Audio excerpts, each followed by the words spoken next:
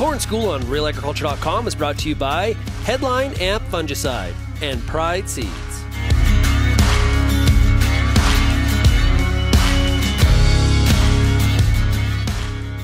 Bernard Tobin back at the Southwest Ag Conference, joined again by Kiersten Wise from the University of Kentucky and uh, a pathologist and another pathologist, Albert Tenuta from OMAFRA. And I want to talk about um, fungicide application. And one question we always hear, you know, should I go go ground? Should I apply aerial? Um, how do you answer that question? Well, there's a lot of pros and cons to both application methods. Um, in Kentucky, at least, we have a lot more interest in ground application, and farmers in Kentucky, they're looking for flexibility. Um, with the ground application, they have a lot more choice in when they apply. They can control when the application is going to occur, as opposed to aerial, where you might just have to spray when the plane is there that day. Mm. Um, also, product choice is very important. Um, some aerial applicators, they have one product, that's what they're going to spray. If you contract with them, that's the product you're going to get. And with all the new fungicides and new active ingredients we have, uh, farmers are more interested in choice than they used to be, and so that's a, a big benefit as well. Mm. Now, the one big pro for aerial application is that you can spray a lot of acres in a very short amount of time. So if there's a disease threat or a particular timing that needs to be hit, you can get more applied in a short amount of time with an aerial application compared to a ground rig. Mm.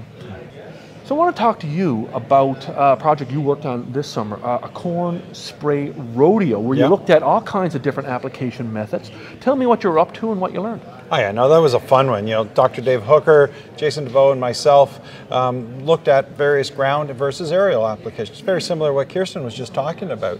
And the, you know, what we noticed and what we found out right away is that um, anything that delivered the the spray or the application closer to that ear leaf, those silks. So we had all we had over the top broadcast, we had drop nozzles, um, we had combinations of both. And so in many cases, those combinations work quite effectively at getting both coverage. We had water sensitive papers, plus we also used a copper tracer to, to quantify you know those those finer droplets that might not get right. captured on those water sensitive papers. And we found that you know those um, those, those alternating or combination application methods, the broadcast versus the delivery into the canopy itself with drop nozzles or, or mimicking the drop nozzles worked most effectively. And the other cool thing that we noticed, and very similar to what we saw with wheat um, previously on, on uh, Fusarium head blight, is that aerial applications, those fine droplets, get um, can be captured uh, quite effectively. So we found that aerial versus ground were very similar in terms of delivering the product where it needs to be. Mm -hmm. So, and you know, if you had you know the right product, right pressure, right spread, right nozzle, you can you can do uh, be effective from the air or on the ground. Right. So if you have if you do everything right, you have a very high probability yeah. of getting it where you need. If you do everything if, right. If you do something wrong, that has a big impact on on that delivery and your success rate.